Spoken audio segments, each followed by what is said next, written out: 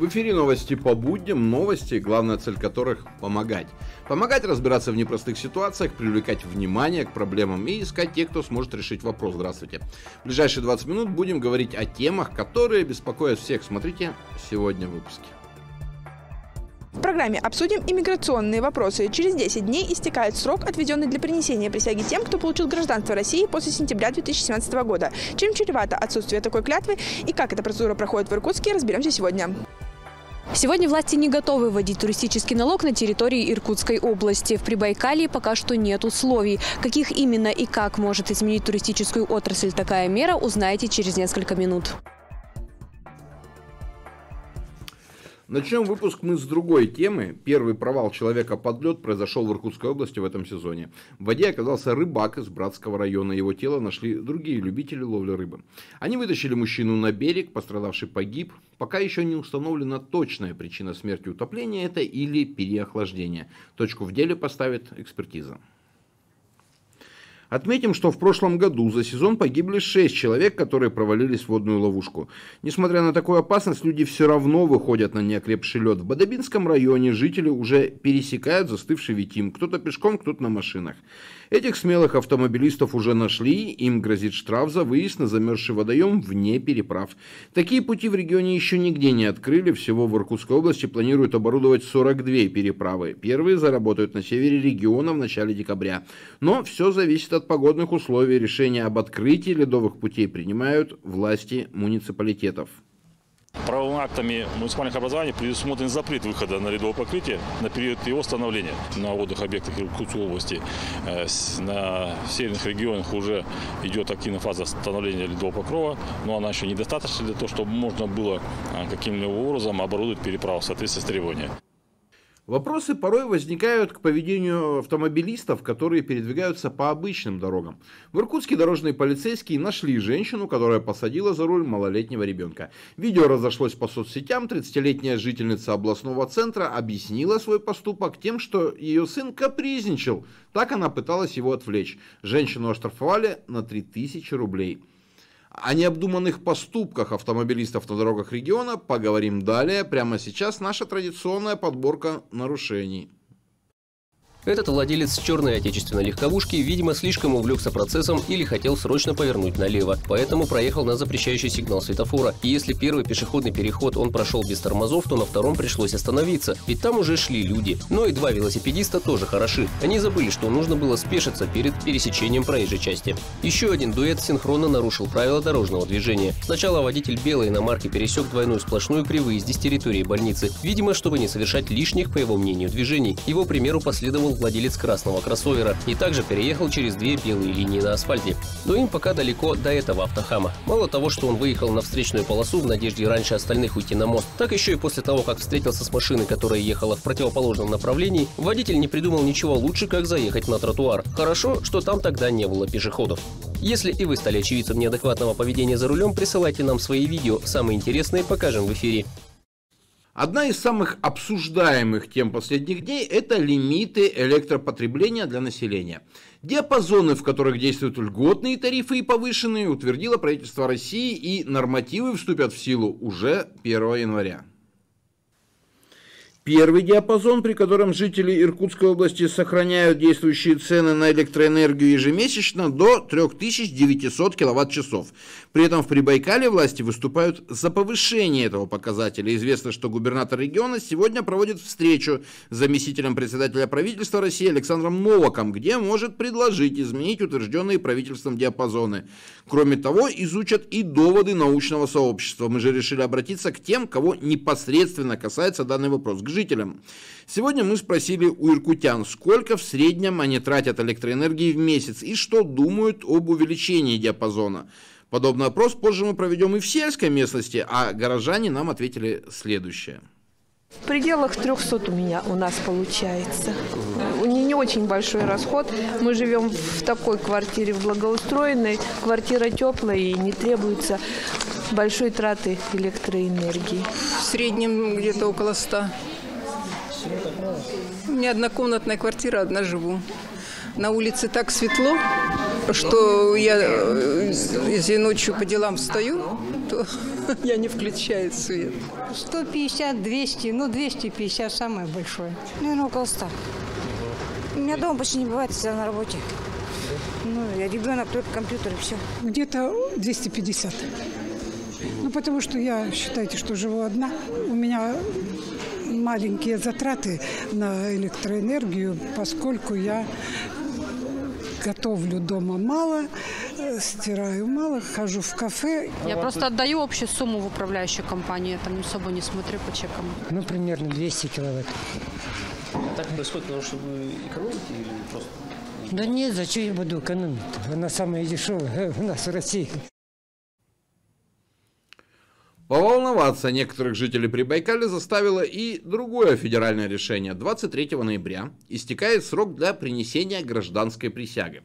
Клятвы, которую должны дать те, кто подал заявление на получение гражданства после 1 сентября 2017 года. Чем чревато отсутствие присяги и кого касается указ, разбиралась Дарья Ивазова.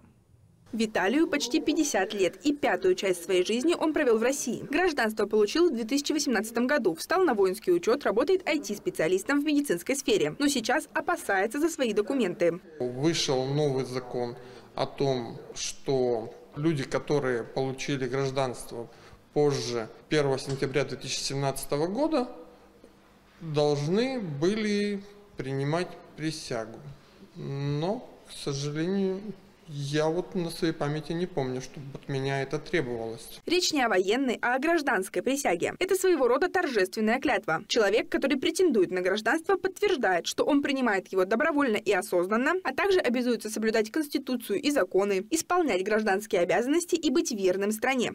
В Иркутске новоиспеченные граждане, как правило, приносят присягу в городском музее истории. Мероприятия здесь проходят примерно раз в две недели. Если же по каким-то причинам этот зал принять новоиспеченных граждан не может, может, тогда э, присягу принимают в отделе по вопросам миграции. И только после присяги выдают паспорта. Присяга стала обязательной с 1 сентября 2017 года, но точных сроков для принесения клятвы не отводили. С ноября 2023 появилось ограничение – год. Лица, в отношении которых решения о приеме в гражданство Российской Федерации приняты в соответствии с федеральным законом от 31 мая 2002 года номер 62 ФЗ и которые не принесли присягу гражданина Российской Федерации до дня вступления в силу настоящего указа, приносят ее в течение одного года со дня вступления в силу настоящего указа. По истечении указанного срока такие лица, если они не принесли присягу гражданина Российской Федерации, считаются не приобретшими гражданство Российской Федерации, а решения об их приеме в гражданство Российской Федерации недействительными. Эта формулировка и вызвала беспокойство у тех, кто получил гражданство, но не помнит, давал ли присягу. Чтобы разобраться в вопросе, мы связались с миграционной службой. Там нам объяснили, если у человека уже есть на руках паспорт, значит он давал присягу. Ведь без такой клятвы он просто не получил бы документ. Указ же касается претендентов на гражданство. Это люди, которым одобрили гражданство, но они до сих пор не завершили процесс его получения. А значит, не приносили присягу, не получали паспорт и не являются гражданами России. Дарья Эйвазова, Владимир Пинаев, Иван Гоголев. Новости по будням. В областном центре больше суток искали десятилетнего школьника. О пропаже мальчика заявила его мать. 12 ноября утром ребенок отправился на занятия, после чего перестал выходить на связь. Благодаря очевидцам несовершеннолетнего нашли в микрорайоне Новоленина. Сотрудники полиции уже передали ребенка родителям. О других важных событиях региона расскажем в нашем коротком обзоре. В Иркутске задержали 30-летнего жителя, который подозревается в сбытии товаров с запрещенной символикой. По версии следствия, почти два с половиной месяца мужчина продавал предметы своей торговой точке, а также через соцсети. Во время обыска павильона полицейские нашли 72 изделия. Ранее иркутянин уже привлекался к ответственности за такое же нарушение. Сейчас мужчине грозит до 4 лет лишения свободы. Я же не знаю каждый, что каждый вот это, вот это, вот это запрещено. Проще вообще не заниматься этим. Но незнание закона не освобождает от ответственности? Ну, я ничего не говорю. Вы сами разделяете идеологию? Данной организации? Нет, ни в коем случае вообще. Бывший депутат Думы Иркутска получил условный срок за покушение на контрабанду. Георгия они задержали в июне этого года. Суд установил, что мужчина передал своему сообщнику 99 мускусных желез кабарги весом почти 2 килограмма для дальнейшего вывоза за границу. Но запретную посылку изъяли у посредника. Экс-чиновника приговорили к четырем с половиной годам лишения свободы условно с испытательным сроком 2 года. Получили 900 тысяч рублей мошенники от жителя Братска 49-летний водитель нашел в интернете предложение о дополнительном заработке с помощью инвестиций. Мужчина оформил кредит, начал якобы играть на бирже, но на самом деле деньги перевел аферистам. Продолжают злоумышленники обманывать прибайкальцев не только дистанционно. В Усолье-Сибирском у 67-летней жительницы украли деньги и драгоценности на сумму миллион рублей во время снятия порчи. Сейчас полиция разыскивает двух подозреваемых женщин, которые проводили ритуал. Еще одна важная новость. Стало известно, сколько пассажиров будет вмещать укороченная версия МС-21, которую собирают в Иркутске. Ориентировочно до 160-170 человек. Но разработка проекта пока находится на старте. Идея создания такой версии самолета появилась после импортозамещения систем и комплектующих. Самолет будет меньше стандартного образца на одну секцию фюзеляжа. При этом дальность полета также сможет превышать 5000 километров. Напомним, обычный образец способен принять на борт до 211 пассажиров. Сейчас, как сообщает Интерфакс, готовится эскизный проект укороченного лайнера МС-21-200. Но это уже начали выделять субсидии из федерального бюджета. Ее размер за два года составит 2 миллиарда рублей. Старт же серийного производства первой версии судна планируется в 2025 году. Ранее сроки неоднократно переносились. А вот бюджет Усолья Сибирского, наоборот, будет пополняться новыми влияниями со следующего года. В городе ведут туристический налог. Такую возможность обсуждали и на региональном уровне, но власти Прибайкаля решили пока не вводить такую меру. Почему ляг может повлиять на сферу отдыха в Иркутской области, мы попросили поразмышлять наших экспертов, их мнение далее. Сам этот налог ляжет на шеи плательщиков, наших путешественников. Иркутск пока что от него отказался. А, в целом ждем развития инфраструктуры. Изначально это будут, конечно, скажем так, дополнительные затраты по а, реконструкции новых гостиниц, возведения вот этих вот мест отдыха, но в дальнейшем это будет оправдано тем самым налогом, который ляжет в региональный бюджет. Не менее важная как бы вещь, связанная с введением туристического налога. И не все средства размещения на сегодняшний день а, классифицированы. Вот это тоже важно, потому что мы э, начинаем играть не по равным правилам. Да? То есть кто-то, условно говоря, находится, э, классифицируется, кто-то ну, в, белой зоне находится и ведет честный бизнес, кто-то, э, как гостевые дома, не показывает себя как именно как гостиница. Что касается отношения туристов э, к этому налогу, оно, так сказать, резко негативное. Дело даже не в сумме, потому что сумма пока, ну, скажем так, достаточно незначительная. У нас ежегодно ежегодное подорожание гостиниц э, происходит на большую сумму. А дело в самом факте, потому что не очень ясно, кто должен платить налог, какие категории льготников. Для путешествий нужны деньги и порой весьма ощутимые суммы. Поэтому наши земляки стали все чаще искать более высокооплачиваемую работу. Увольнений по собственному желанию в Прибайкале стало больше. 74% трудящихся жителей региона сами приняли такое решение.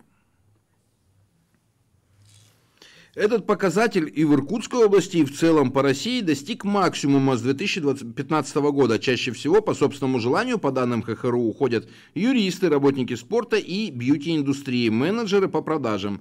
Реже всего охранники, специалисты по безопасности и обслуживающий персонал. Увольнения из-за сокращения штата или реорганизации компании происходят сейчас редко. Эти тенденции связаны с дефицитом на рынке труда. Поэтому организации предприятия различными способами стараются удержать удержать сотрудников или привлечь новых работников? Мы спрашивали у соискателей, что важно для них. Ну, в первую очередь, конечно, зарплата, но причем зарплата, которая покрывает нужды. Второе – это отношение компании к работнику. Конечно же, для них важен баланс работы и личной жизни. На самом деле, какие-то такие отгулы, выходные и так далее, у очень многих компаний входит в какую-то мотивационную историю. Финансовая поддержка очень важна для молодых семей. Трат у них становится в разы больше, к тому же кому-то из родителей приходится на время остаться без работы. А есть такие мамы и папы, которые не уходят в декрет. При этом они имеют право получить пособие по уходу за ребенком. Но не все жители Иркутской области об этом знают. Подробности далее. Эта молодая мама не получала декретные три месяца. Иркутянка не знала, что теперь получать пособие по уходу за ребенком можно, даже если родитель работает. Такие изменения вступили в силу в стране с начала этого года. Но многие новоиспеченные мамы и папы не знают об этом. Теперь родитель, который выйдет на работу до достижения ребенком полутора лет, может претендовать на декретные выплаты. При этом неважно, где он трудится, в офисе или дистанционно, оформить пособие может мать, отец, бабушка, дедушка и другие родственники. С начала года за назначением выплат обратились почти 20 22 тысячи работающих жителей региона. Из них почти тысяча – это как раз отцы. На эти цели социальный фонд направил более 2 миллиардов рублей. Напомним, с 1 февраля 2024 года минимальный размер ежемесячного пособия по уходу за ребенком составляет 9227 рублей. Также учитывается районный коэффициент. Сейчас общественники Иркутской области обратились в региональное отделение социального фонда. Они просят специалистов еще раз напомнить работодателям о новых правилах назначения пособия. Олег Федоров, новости по будням. Спортсмен из Свирска Костас Телиидис стал мастером спорта международного класса. Звание Сибиряку присвоили после того, как он выполнил соответствующий норматив на Кубке и чемпионате России по пауэрлифтингу в Туле. Результат атлета в жиме составил 277,5 килограммов, на Кубке 285 килограммов на чемпионате. О других новостях спорта расскажем прямо сейчас. Продолжает победную серию Иркутская Байкал-Энергия. Очередной матч чемпионата России по хоккею с мячом прошел в Иркутске. На домашней арене сибиряки разгромили соперников из Казани. Иркутяне отправили в ворота гостей 12 мячей. Противнику уже лишь трижды удалось обойти защиту хозяев поля. А вот ангарский Ермак уже завершил домашнюю серию игр Национальной молодежной хоккейной лиги. Очередными соперниками стали спортсмены из Брянска. Первый матч остался за хозяевами поля. Победителя определила серия булитов. А вот вторая встреча закончилась для ангарчан поражением со счетом 2-7. Ранее хоккеисты на родном льду дважды одолели представителей Калуги. Следующие игры Ермак проведет в Санкт-Петербурге. Они скрестят клюшки с «Динамо-576». Иркутские спортсменки завоевали бронзу всероссийских соревнований по конькобежному спорту в Коломне. Юниорские старты собрали больше 120 участников из 27 регионов страны. Елизавета Гажидоева, Василиса Брюханова и Милана Шарапова взошли на третью ступень пьедестала в командном забеге на 6 кругов. А Елизавета также финишировала третьей в масс-старте на 10 кругов. Дарья Эйвазова, новости по будням. Еще одно историческое здание в Иркутске преобразилось. Завершается капремонт театра Пилигримов. Творческий коллектив переехал в этот дом в конце 90-х. Перед этим здание, которое возвели еще в середине 19 века, отреставрировали, но с техническими ошибками. Из-за этого состояние постройки сильно ухудшилось. Теперь все недочеты исправили, а также покрасили фасад, провели внутренние работы. На днях начнется монтаж акустических панелей для зрительного зала. Они переехали в Иркутск из Москвы. Другие любопытные новости региона, страны и мира ждут вас в рубрике «Повесточки». Всем здравствуйте! Самый лучший день проходил вчера. Фраза из популярной песни Григория Лепса. Когда слышишь ее, так и хочется подпевать. А чем еще можно заняться вечером после работы?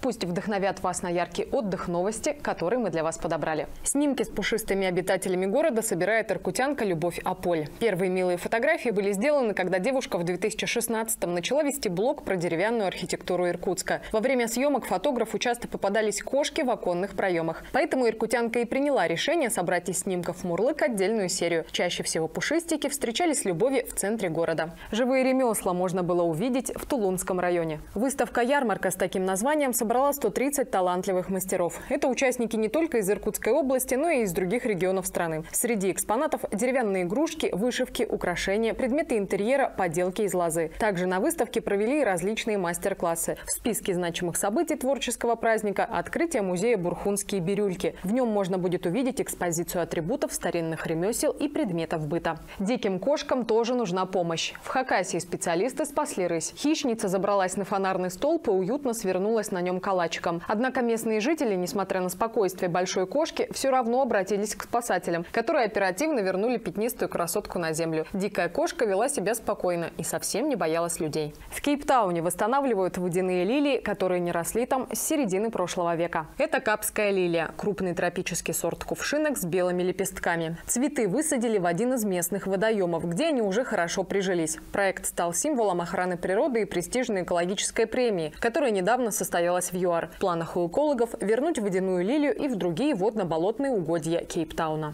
Встречайте каждый день в отличном настроении, а мы подарим еще больше хороших новостей. А у меня на этом все. Еще больше интересного на нашем сайте www.ntsdefistv.ru и в соцсетях Медиахолдинг НТС. Подписывайтесь. Я же на этом прощаюсь, но помните, мы всегда вместе с вами.